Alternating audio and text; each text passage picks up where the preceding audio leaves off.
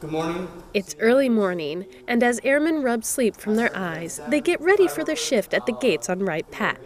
After roll call, they head out to their assigned gates to check IDs. But these airmen are not from the Security Forces Squadron. They're from the medical group, legal, even public affairs. Eagles is the entry authorization gate liaison program. And what that is is a, uh, a, helpful initiative where we draw people from other organizations to help us out on the gates during surge.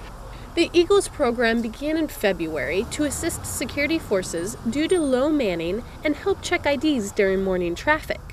As the sun peeks over the horizon, a lot of participants see the sunny side of this extra duty.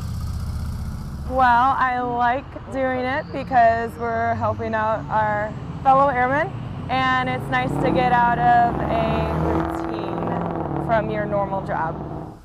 And with the support from Eagles Airmen, security forces aren't left out in the sun for hours. It gets really hot, really muggy, uh, you know, so you can try to drink all the water you want, but you know, you kind of need that time to just be in the AC for a little bit and kind of regain your regain your strength for a little bit and go back out there.